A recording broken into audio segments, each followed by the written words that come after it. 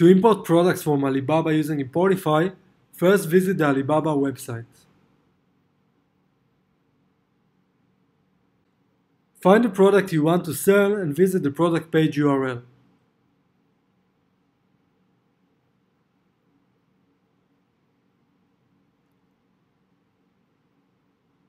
Now click the red Add button. The Importify editor will be open up. You can change the title, the description, or the price. You can also link the product to a specific collection. Once you are done, click the Add to your Shopify button. Wait till you get the confirmation message that the product was added successfully. Now you can use one of the three options to check your product.